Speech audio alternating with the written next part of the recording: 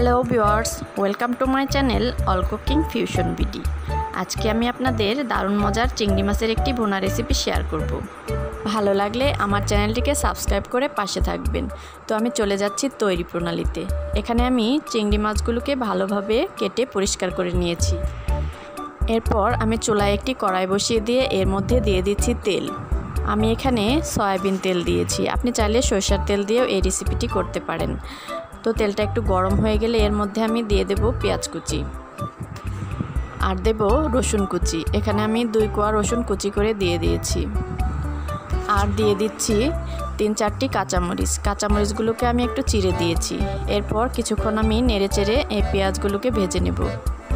এর মধ্যে আমি সামান্য একটু তেজপাতা দিয়ে দিচ্ছি। কিছুক্ষণ পেঁয়াজটা ভাজা হয়ে গেলে আমি এর মধ্যে দিয়ে দেব আদা রসুন বাটা। আমি এখানে খুবই সামান্য একটু আদা রসুন বাটা ব্যবহার করেছি আর দিয়ে দিচ্ছি স্বাদ মতো লবণ। আর এই তেলের মধ্যেই আমি দিয়ে দিচ্ছি মরিচের গুঁড়া। এতে করে রান্নার কালারটা অনেক সুন্দর আসে। এরপর আমি নেড়ে চেড়ে কিছুক্ষণ মশলাটাকে ভালোভাবে ভেজে নেব।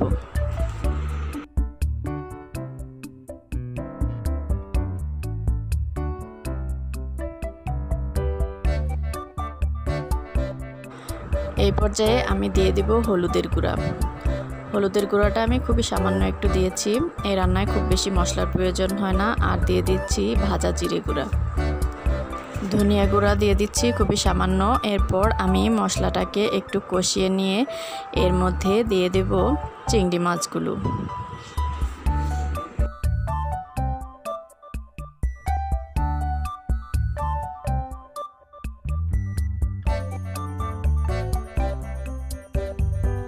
চিংড়ি মাছগুলো দিয়ে আমি কিছুক্ষণ মশলার সাথে নেড়ে চেড়ে চিংড়ি মাছগুলোকে ভেজে নেব।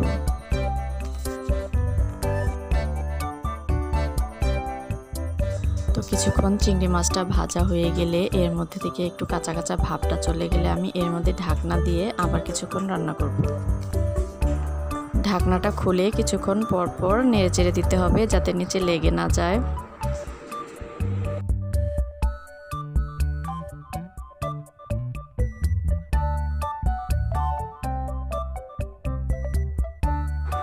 বেশ খানিকটা সময় নিয়ে আমি চিংড়ি মাছগুলোকে একদম ভাজা ভাজা করে নেব। এরপর এর মধ্যে আমি খুবই সামান্য একটু পানি অ্যাড করব। এরপর আমি কিছুক্ষণ জাল করে পানিটাকে শুকিয়ে নেব। তো রান্নার এই পর্যায়ে আমি চোলাটাকে অফ করে দেব। তো বিওয়ার্স আমার রেসিপিটি যদি ভালো লাগে, আমার চ্যানেলটিকে সাবস্ক্রাইব করবেন। আর যারা আমার ভিডিওটি এতক্ষণ ধৈর্য সহকারে দেখেছেন, তাদেরকে অসংখ্য ধন্যবাদ। সবাই ভালো থাকবেন।